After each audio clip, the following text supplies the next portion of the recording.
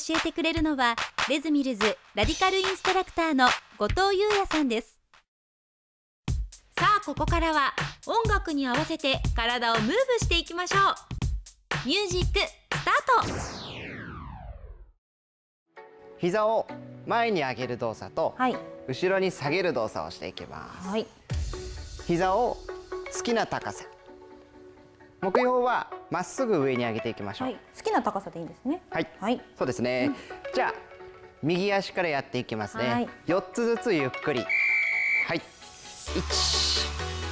123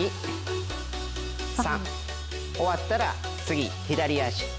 先生これはどういったところに効きますか？お尻をしっかり伸ばしていくっていう意味が出てきます、はい。反対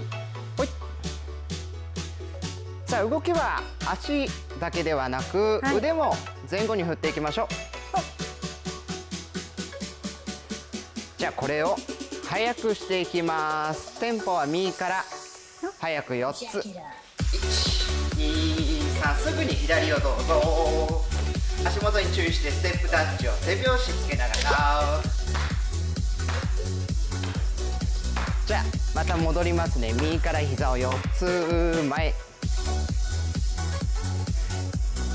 しっかり膝を上げることで心拍数も上昇していきます。じゃあこの足を2つずつに変えましょう。右から121ステップタッチ432繰り返します。ワンツーワンツー。さあさらに余裕が出てくれば膝上げの時につま先を下に向けましょう。下。下。4 3ちょっと先に動きますね、はい。前とクロス。前とちょっクロスと難しくなるぞ。この動きにしていきますよ。は前とクロス。前とクロスステップタッチ。じゃあ次からさらに激しく121さあクロスにすることで、はい。ももの内側の運動意識ができます。ほい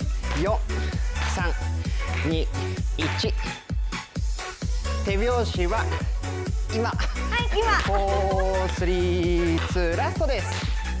前と斜め後ろ。は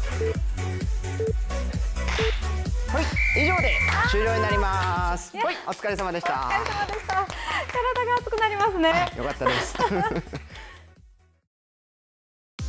体を動かした後はしっかり水分補給も忘れずに